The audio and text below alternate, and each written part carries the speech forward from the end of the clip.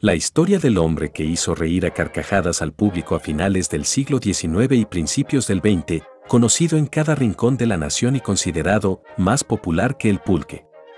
El inglés Ricardo Bell llegó a México por primera vez en 1869, acompañado de sus hermanos. Pasó una época muy difícil en México, sin embargo, el general Porfirio Díaz lo cobijó a él y a su familia.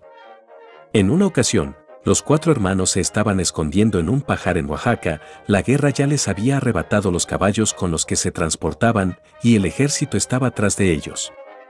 Después de tanto esconderse decidieron entregarse, luego de relatar su historia al oficial, este les devolvió sus caballos y les aconsejó que regresaran a Inglaterra. El comandante que los trató tan paternalmente fue el capitán Porfirio Díaz. Años después, ya presidente, el ilustre oaxaqueño le recordó esta anécdota a Ricardo Bell.